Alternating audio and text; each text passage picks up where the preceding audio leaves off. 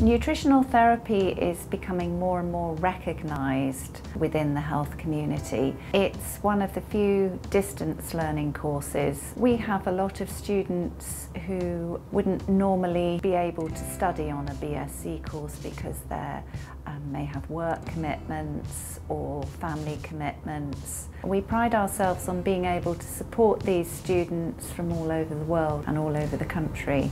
I was anxious that I would feel detached from the university but with Blackboard and forums we're very much connected to each other with supervisors and students, particularly in the last year when we've actually had our study days here at UWL, which is something you don't always get with distance learning.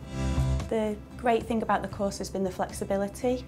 It's been fantastic to be able to live in Manchester and to study from there. It's allowed me to spend a lot of time with my family and work my studies around them.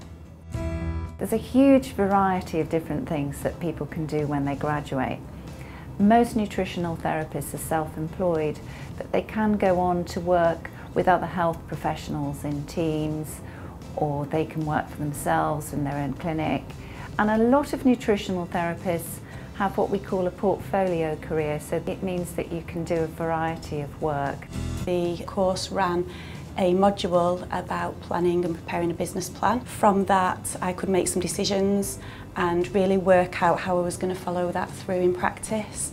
The last year we've done a lot of focusing on how we will actually be when we leave the course and what we're going to do, the business aspects and the clinical practice. So I actually feel prepared to go out in the world and be a nutritional therapist.